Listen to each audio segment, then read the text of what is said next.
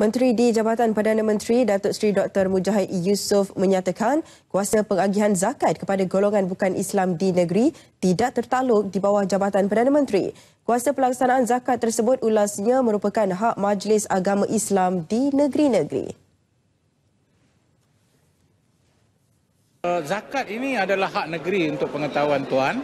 Kami di peringkat federal uh, tidak ada satu kuasa untuk menentukan uh, walaupun isu zakat uh, kepada mualaf itu yang belum beragama Islam itu yang uh, merupakan asas kepada maksud mualaf uh, boleh kita bincang tapi dari segi pelaksanaan dia tidak berada pada kuasa saya.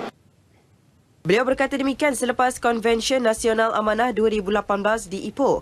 Majlis Agama Islam Negeri Johor, Main J, merupakan majlis agama pertama di Malaysia yang mengagihkan kutipan zakat kepada golongan bukan Islam.